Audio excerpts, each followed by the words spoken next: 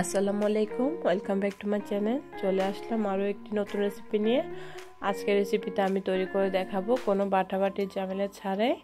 সিম, টমেটোর মিক্স ভর্তা।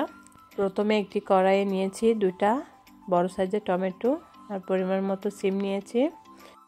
পানি দিয়ে সিদ্ধ করতে দিয়েছি। দশ মিনিট পর টমেটোটা যখন নরম হয়ে এসছে এ পর্যায়ে টমেটোগুলো আমি উঠিয়ে নিচ্ছি। সিমটাকে আরও পাঁচ মিনিট সেদ্ধ করে নিব। এবার যে এক্সট্রা পানিটা আছে, সেই পানিটাও শুকিয়ে নিব। আপনারা চাইলে পানিটা ফেলেও দিতে পারেন।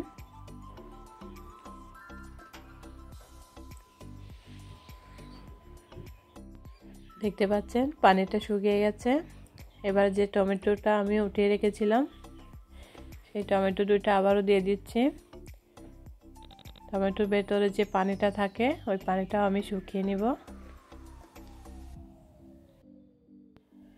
টমেটোটাকে তেতো করে আবারও ঢাকনা দিয়ে দিচ্ছি তিন থেকে চার মিনিটের জন্য।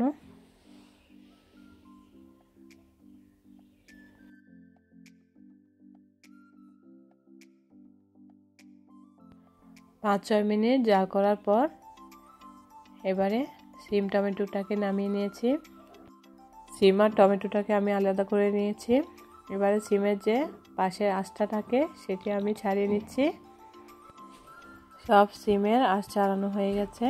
এবারে আমি হাতের সাহায্যে ম্যাশ করে নিব। খুব ভালোভাবে ম্যাশ করে নিব যাতে কোনো দানা অংশ না থাকে। এবার যে টমেটোটা আলাদা করে রেখেছিলাম সেটা নিয়ে নিয়েছি। টমেটোর যে কোষাটা ওটাও ফেলে দিয়েছি। এবার নিয়ে নিচ্ছি পরিমাণ মতো পেঁয়াজ কুচি। দিয়ে দিচ্ছি ধনে পাতা কুচি। স্বাদ মতো লবণ দিয়ে দিলাম। এবার সরিষার তেল দিয়ে দিচ্ছি পরিমাণ মতো। চারটা শুকনো মরিচ দিয়ে হাত দিয়ে আবারও সবগুলো মিক্স করে নিচ্ছি। আপনারা যদি ঝালটা একটু বাড়িয়ে দিতে চান, সেক্ষেত্রে মরিচটা বাড়িয়ে দেবেন। আপনারা যদি আমার চ্যানেলে নতুন হয়ে থাকেন, তাহলে চ্যানেলটিকে সাবস্ক্রাইব করে রাখবেন। পরবর্তী সব রেসিপি পেতে বেলাইকনটি অন করে রাখবেন। ভর্তাটি তৈরি হয়ে গেল অনেক সহজেই। এই ভর্তাটি আপনারা অবশ্যই বাসায় ট্রাই করবেন। অসম্ভব মজাদার হয়। সবাই ভালো থাকবেন। আল্লাহ হাফেজ।